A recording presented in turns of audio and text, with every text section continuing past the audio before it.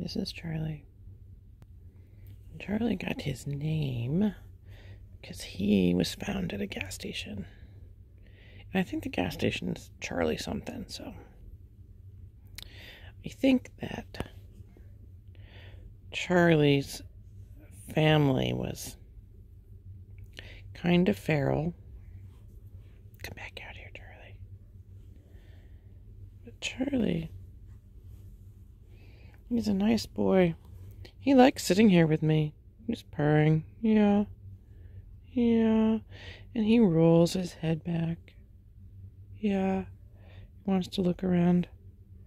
You see, he's got some yummy food on his face. Want some of this? Look. Look at this. Look. Want some of this? Look at that. That's good stuff.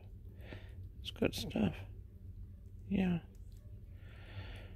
Charlie would love to have a patient home. I'll just spend a little more time with him. Yeah.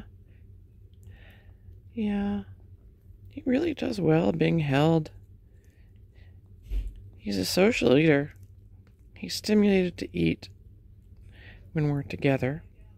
Yeah. And he loves these squeezy treats. Yeah. He's a nice boy.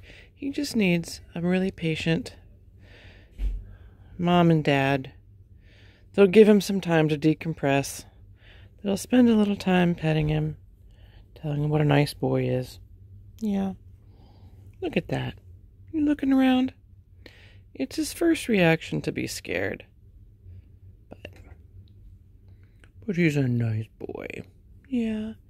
He's three to four months old. Yeah. So come see Charlie. If you are patient and want to give a really deserving kitty a second chance. Yeah.